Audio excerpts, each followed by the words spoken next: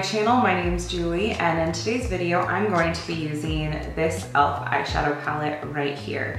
This is the Bite Size eyeshadow palette in Pumpkin Pie and man is it gorgeous, gorgeous, gorgeous. I love it so much. Um, my last video on one of these palettes did not go so well, but this one I think went great. I really highly recommend this one in particular amongst all of the different options that we have for these cool $3 palettes. So if you wanna see how I got this eyeshadow, then let's go ahead and get started. Okay, so I'm gonna prime my eyelids with just concealer today.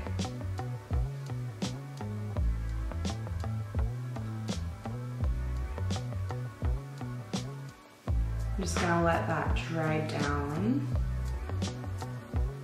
So I'm gonna start out with this shade right here with a fluffy, floppy brush. I'm gonna try to go in lightly using this as a uh, transition shade. So I'm gonna go in really, really lightly. You can see there's like barely anything there. We're gonna build it up. I'll zoom you in.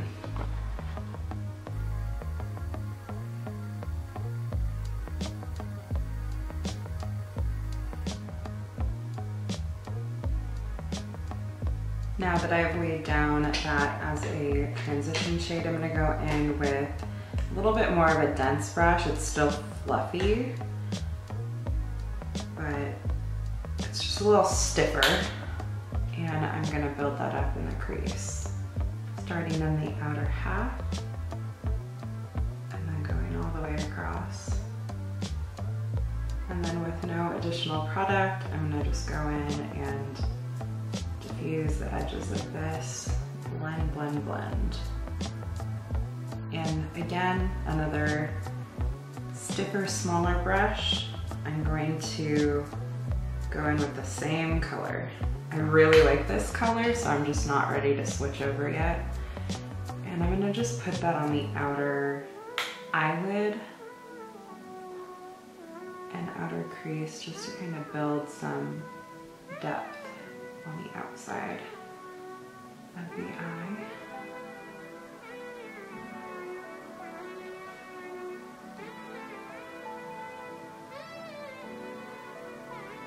And again, diffusing the edges. Then using this much smaller brush, I'm gonna go in with this shade kind of on the lid, kind of on the outer crease, and just build that up slowly.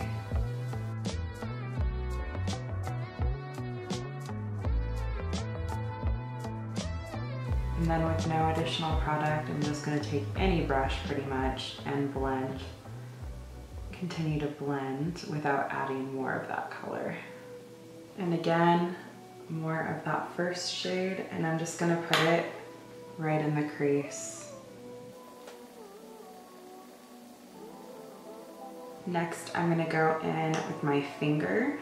I'm gonna use this shade right here and I'll use my ring finger. And I'm just, wow, that's so pretty. I'm just going to pack that all over the lid.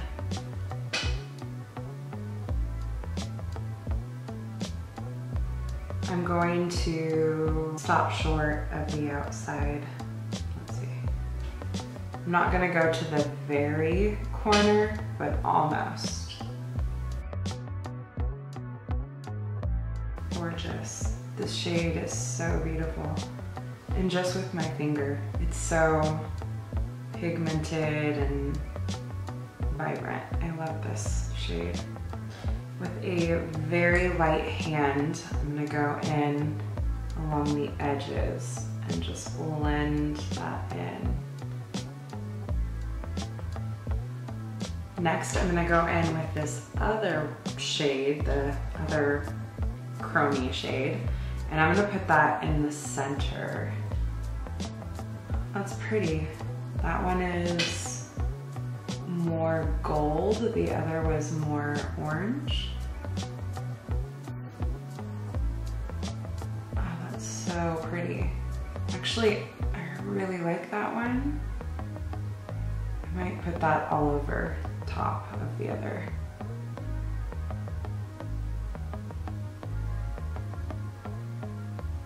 Once again, I'm gonna go over the edges very lightly, not blending anything away, just kind of softening the line. And now I'm gonna go in with a makeup remover wipe and I'm gonna clean up under my eyes and even on my nose where those shimmers have gotten.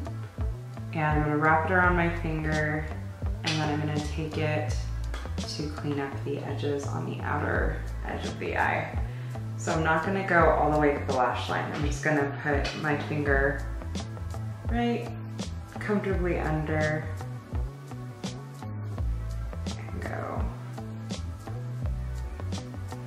up and out to create a sharper line. Okay, so now to finish up the eyes, I'm gonna go on the lower lash line using this shade right here with a flat brush. And I'm just gonna put that on the outer edge right here, like so. I'm just making it connect. So outer edge and then up into the eyeshadow, like so. Zoom you in. So that's what it looks like. And I'm gonna go in with a pencil brush with this first shade. And I'm going to just blend it out.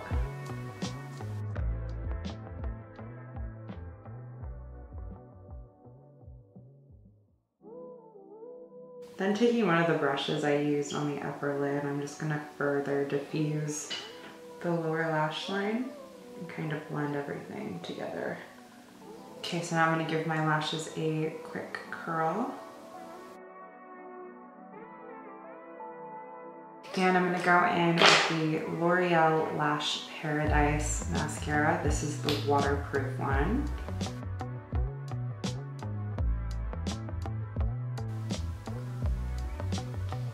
This mascara is so pretty.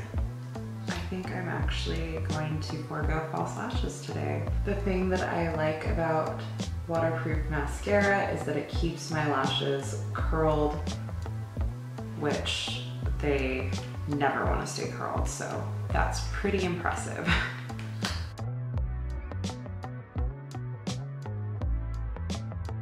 And like that, this look is complete. So you could add eyelashes if you wanted to add a little bit more drama to it. But I think that this mascara did a pretty good job on its own. I absolutely love this eyeshadow palette. I think it's lovely. I just realized that I forgot to get the mascara that was flecked on my eyelids off before finishing this video, but you know what? What's done is done. Anyway, I absolutely love this eyeshadow palette. It's beautiful. It's everything you need for a super gorgeous look. $3, man, it's a steal. Highly recommend this eyeshadow palette. So beautiful. Anyway, I hope that you enjoyed this video. If you did, don't forget to give it a thumbs up and subscribe on your way out. And I hope to see you in my next one. Thanks so much for watching. Bye.